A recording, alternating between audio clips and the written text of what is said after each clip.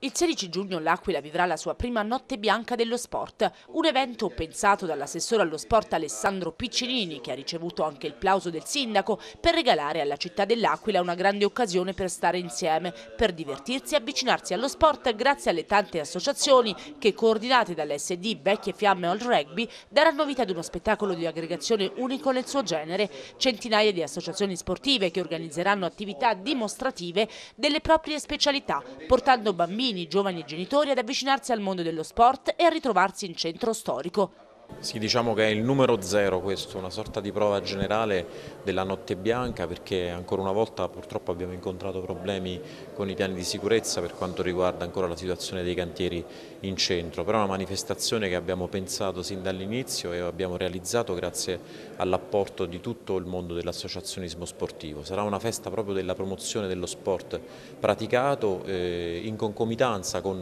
l'inizio dell'apertura del, del dell'ATP Challenge di tennis tennis, per cui sarà tutta una zona della città che vivrà un momento importantissimo di sport, di musica e di divertimento e intrattenimento in generale. Con l'occasione abbiamo anche organizzato un concerto di,